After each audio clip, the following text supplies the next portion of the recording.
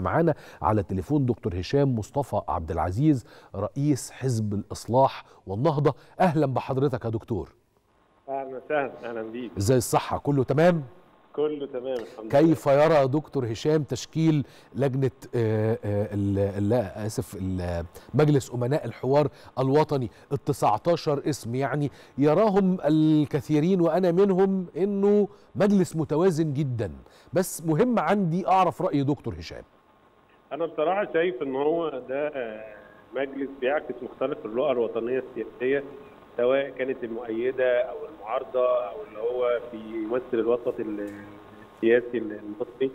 وأنا شايف إن هي شخصيات آه، قامات وطنية كبيرة ولها تاريخ آه، سياسي وفي العمل العام والعمل الصحفي في أكثر من التخصصات.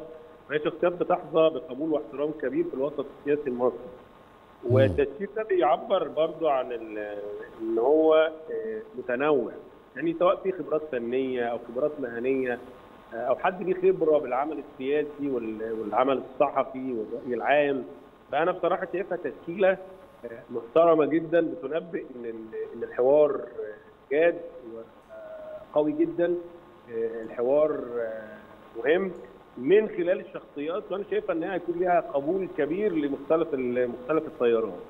ده بالنسبة لل- للتشكيل أنا أثمنه آه، وبشده. آه، شايف إن إن الحوار الوطني نفسه علامة من العلامات ال- ال- المهمة في شكل في شكل الدولة المصرية ومدى جديتها في التعامل والاشتباك مع الملفات. دايما عودنا الرئيس عبد الفتاح السيسي ما هو من ساعة حكمه إن هو رجل دولة من الطراز الأول. الوقت صحيح. اللي هي كانت محتاجة تماسك الدولة ومحاربة الارهاب كان وقف وقفة كبيرة وخلفه الدولة الوطنية كلها لتثبيت أركان الدولة المصرية. ثم بعد ذلك يعني الدخول في ملفات صعبة جدا في الملفات الملفات الاقتصادية والكلام ده بعد فترة طويلة من من بناء وتنمية واختراق مشكلات صعبة مشكلات صعبة جدا وطويلة هو الآن بنفسه في مرحلة جديدة في تنمية سياسية وهي ال- ال- الدولة المصرية في امس آه، الحاجة ليها. الحوار الوطني بينقلنا من مساحة ال- الظاهرة الكلامية الظاهرة الاعتراضية الظاهرة اللي إحنا بنتكلم في ال social media التراشق بال- بالألفاظ الكلام على أرضية مسك ملفات حقيقية. زي ما حضرتك كنت بتتكلم من من شوية المهم جدا إن إحنا بالنسبة لنا اللي بيقول آه يقول آه ليه؟ وخلفيته الكلام ده هو جاب الكلام ده منين؟ صح. صوره علمية كخطط آليات طبعا. برامج. أنا لو أقول لأ نفس الكلام. نفس القصة. هيبقى عندي معلومات والداتا اللي موجودة. طب أنا قلت لأ. قلت لأ ليه؟ طب أنا معترض على إيه؟ يتحول الحوار بقى بدل ما هو كأن إحنا النتيجة هي عملية صراع لوطن واحد وهدف واحد وإن الحوار ده يكون بديل عن الصراع سواء السياسي أو التراجع نمسك ملفات صح وإن أدور وقول أنا بالنسبة لي معترض على النقطة دي أنا شفتها وأنت ما شفتهاش. ففرصة إن إحنا كلنا نقعد صح وننتقل من الغوغائية لل- للموضوعية. وأنا شايف إن دي فرصة تاريخية حقيقية. وتعودي من مع, حكم الرئيس السيسي إن هو شخصية جادة. يعني هو بالنسبة الكلمة اللي بيقولها بينفذها. صحيح. هو الكلام قال حوار يبقى إحنا المفروض نكون أهل للكلام دوت والناس تقعد. ومش عايزين نكرر التجربة لأن أنا كان ليا تجربة في 2014 رئيس جاب الأحزاب وقعد معانا كلنا وأنا كنت من ضمن المدعوين في الحوار بتاع 2014 وهو كان عايز يسمع.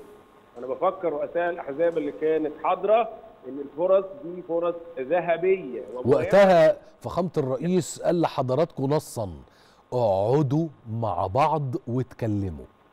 أيوه. و- عدت سنين اهو يعني من 2014 لحد دلوقتي 8 سنين. آه ما هو كان في 8 سنين عدوا بس هو بالنسبة لنا إحنا ساعتها ما استغلناش الفرصة فأتمنى إن إحنا بالنسبة لرؤساء الأحزاب والقوى الوطنية إن هي آه، تشارك في في الحوار بصوره بصورة جدية عشان يكون في مخرجات لأن الفرص دي فرص مهمة جدا ولينا كلنا. إحنا كلنا محتاجين نقعد مع بعض. طبعا. محتاجين نمارس سياسة صح. نتعلم بقى إن إحنا بالنسبة لنا يعني عارض يكون لديك برنامج واضح مش ظاهرة كلامية أو شو أو إعلام أو رؤية. لا عايزين نمسك ملفات آه، بحق وحق الحوار الوطني لازم عشان يبقى جاد لازم تبقى مخرجاته واضحة ومحددة طبعا. وفي آلية لادارته اللي هي للتنفيذ. آلية تنفيذ طبعا سواء على المدى القصير أو على المدى الطويل والناس تحس بالكلام ده. صحيح. آه ولازم الناس تحس بالكلام ده وتشوفه.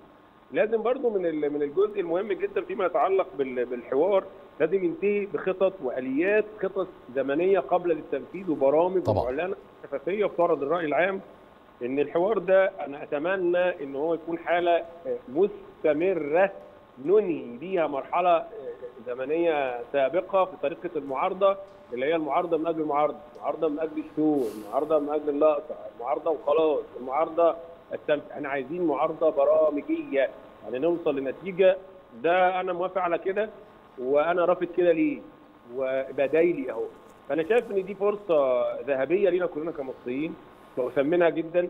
شايف من أول خطوات الحوار الوطني من اختيار الأكاديمية الوطنية والدكتورة رشا المجلس بصراحة يعني الواحد كان حاسس إن هو المجلس علامة على إن إحنا داخلين بجد. يعني ده حوار جدي. يعني الناس اللي موجودة دي مش بتهزر وخبراء وتقيلة وليها رأيها فمش هتحضر في حاجة يعني مش مش جاده فأتمنى إن يكون نتيجة الحوار آه، نتائج مبشرة ونقلة نوعية في الجمهورية الجديدة في السياسة في في الدولة المصرية. هي في إيدينا بصراحة يا دكتور. أنا بشكرك جدا دكتور هشام مصطفى عبد العزيز رئيس حزب الإصلاح والنهضة.